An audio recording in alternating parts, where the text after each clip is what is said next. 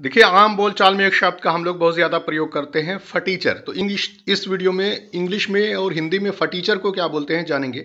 एक सेंटेंस में इसको यूज़ करके अच्छी तरह से समझेंगे। देखिए, फटीचर बोलते हैं इंग्लिश में कि someone in very bad condition as clothes are torn face and hair are dusty मतलब अ मेजरमैन कैन बी कॉल्ड फटीचर।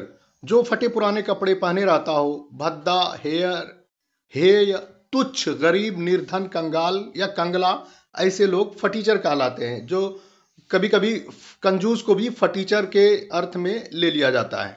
इंग्लिश में फटीचर को बोलते हैं ill conditioned worn out shabby tatty unkempt miserable या माइजर एक सेंटेंस में इसको एग्ज़ाम्पल से समझते हैं, जैसे बोलेंगे, वह एक नंबर का कंजूस आदमी है फटीचर बना, घूमता रहता है। मतलब हुआ इंग्लिश में ही is number one miser man keeps roaming around like a shabby ठीक है तो उम्मीद आपने फटीचर शब्द को इंग्लिश और हिंदी में एग्ज़ाम्पल के साथ में अच्छी तरह से समझ लिया है। Thanks for watching Educare desk